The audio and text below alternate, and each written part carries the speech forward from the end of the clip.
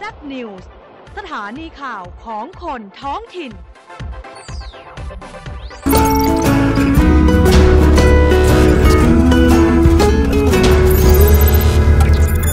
ยังมีมุมเล็กๆสนับสนุนมุมสุข